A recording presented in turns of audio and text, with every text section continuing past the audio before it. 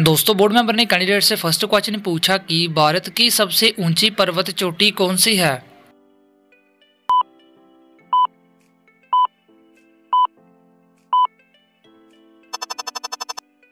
उम्मीदवार ने इस क्वेश्चन का आंसर दिया कि भारत की सबसे ऊँची पर्वत चोटी के टू है। एग्जामिनर ने कैंडिडेट से अगला क्वेश्चन पूछा कि कौन सा कर संघ द्वारा लगाया जाता है और राज्य के द्वारा उगाया तथा विनियोजित किया जाता है?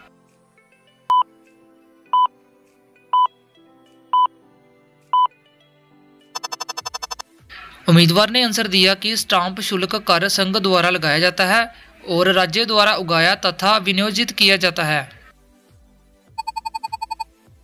एग्जामिनर ने कैंडिडेट से अगला क्वेश्चन पूछा कि वर्ष 2010 की फोर्ब्स 2000 सूची में भारत की कुल कितनी कंपनियाँ शामिल हैं?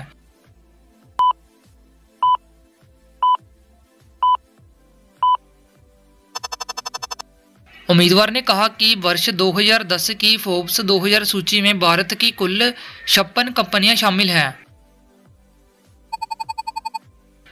एग्जामिनर ने कैंडिडेट से नेक्स्ट क्वेश्चन पूछा कि तेजड़िया और मंदड़िया वाणिज्य के किस पहलू से संबंधित है?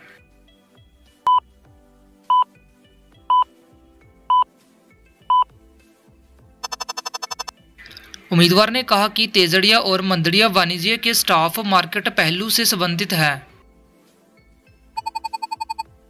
बोर्ड मेंबर ने कैंडिडेट से नेक्स्ट क्वेश्चन पूछा कि कौन सा कर ऐसा है जिससे कीमत में वृद्धि नहीं होती है?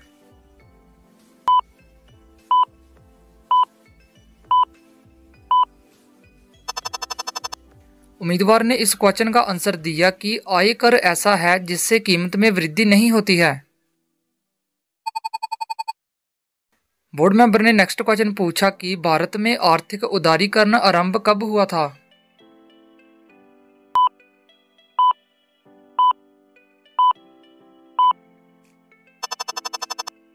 उम्मीदवार ने आंसर दिया कि भारत में आर्थिक उदारीकरण आरंभ औद्योगिक लाइसेंस नीति में वास्तविक बदलाव के साथ हुआ था। एग्जामिनर ने कैंडिडेट से अगला क्वेश्चन पूछा कि विश्व स्वर्ण परिषद की रिपोर्ट के अनुसार कौन सा देश स्वर्ण का सबसे बड़ा आयातक है?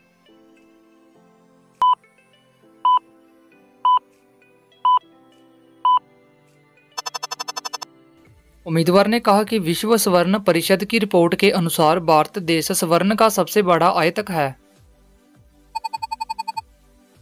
एग्जामिनर ने कैंडिडेट से अगला क्वेश्चन पूछा कि संयुक्त राष्ट्र शासकीय रूप से 1945 में से किस तिथि को अस्तित्व में आया?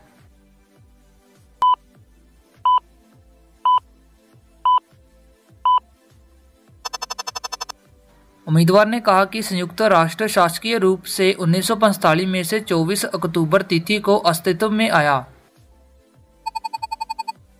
एग्जामिनर ने अगला क्वेश्चन पूछा कि जुलाई 2009 को अंतर्राष्ट्रीय परमाणु ऊर्जा एजेंसी के महानिदेशक कौन चुने गए हैं?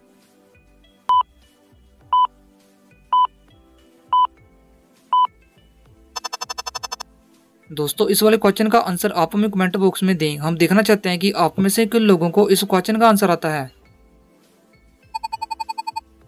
बोर्ड मेंबर ने कैंडिडेट से अगला क्वेश्चन पूछा कि 5 जुलाई 2011 को अंतर्राष्ट्रीय मुद्रा कोष प्रबंधन निदेशक का कार्यभार किसने संभाला है?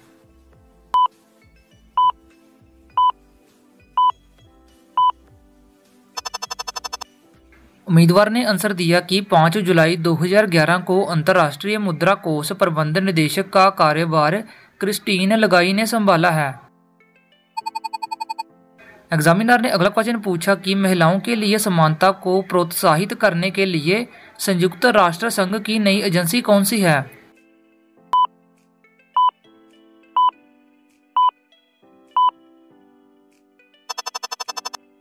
उम्मीदवार ने इस क्वेश्चन का आंसर दिया कि महिलाओं के लिए समानता को प्रोत्साहित करने के लिए संयुक्त राष्ट्र संघ की नई एजेंसी यूएन वुमेन है। एग्जामिनर ने कैंडिडेट से अगला क्वेश्चन पूछा कि हवाई जहाज़ को बनाने के लिए कितना समय लगता है?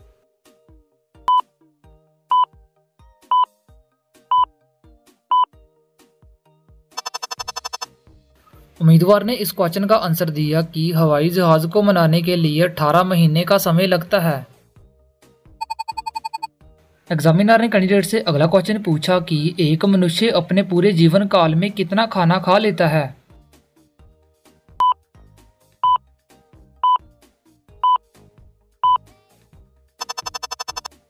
उम्मीदवार ने कहा कि एक मनुष्य अपने पूरे जीवन काल में 35 टन खाना खा लेता है। बोर्ड मेंबर ने कैंडिडेट से अगला क्वेश्चन पूछा कि ऐसा कौन सा फल है जिसमें एक बीज होता है?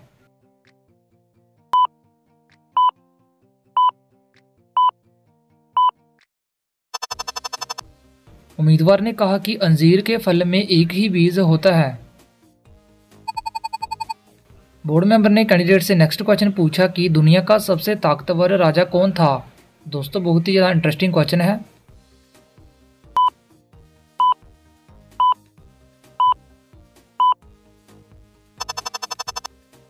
उम्मीदवार ने कहा कि दुनिया का सबसे ताकतवर राजा अलाउद्दीन खिलजी था। बोर्ड मेंबर कैंडिडेट से अगला क्वेश्चन पूछते हैं कि सबसे ज़्यादा नदी किस देश में पाई जाती है? दोस्तों, ये क्वेश्चन इंटरव्यू में पहले भी पूछा गया था।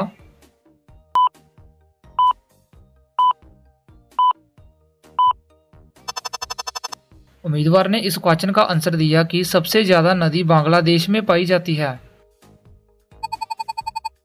बोर्ड मेंबर ने कैंडिडेट से नेक्स्ट क्वेश्चन पूछा कि ऐसा कौन सा जीव है जो कि लगभग तीन वर्ष तक सोता है?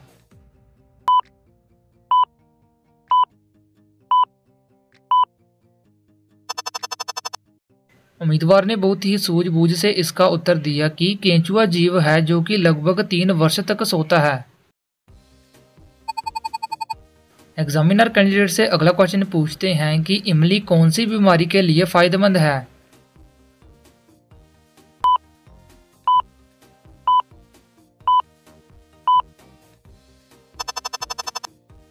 उम्मीदवार ने आंसर दिया कि इमली हृदय की बीमारी के लिए फ़ायदेमंद है।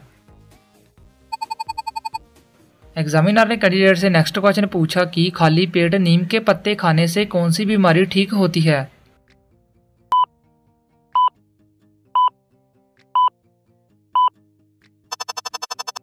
उम्मीदवार ने आंसर दिया कि खाली पेट नीम के पत्ते खाने से शुगर की बीमारी ठीक होती है। एग्जामिनर ने कैंडिडेट से अगला इंटरेस्टिंग क्वेश्चन पूछा कि किस जीव के खून का रंग हरा होता है?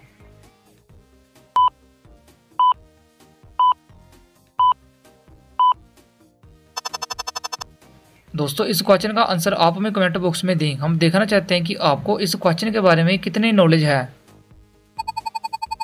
एग्जामिनर ने कैंडिडेट से अगला क्वेश्चन पूछा कि कौन सा फल खाने से दांत साफ़ होते हैं?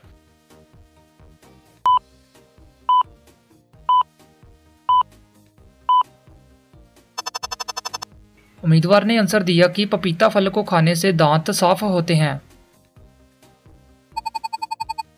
दोस्तों एग्जामिनर ने कैंडिडेट से अगला क्वेश्चन पूछा कि मुझसे डलवाने में तुम्हें ज़्यादा मज़ा आता है। बताओ क्या? दोस्तों बहुत ही ज़्यादा इंटरेस्टिंग क्वेश्चन है। अगर आपको इस क्वेश्चन का आंसर आता है तो आप हमें नीचे कमेंट बॉक्स में बता सकते हैं।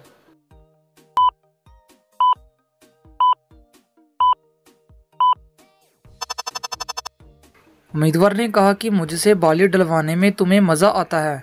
दोस्तों कमेंट बॉक्स में बताना कि आपने इस क्वेश्चन का आंसर क्या सोचा था। प्लीज़ हमारी वीडियो को लाइक और चैनल को भी सब्सक्राइब कर देना।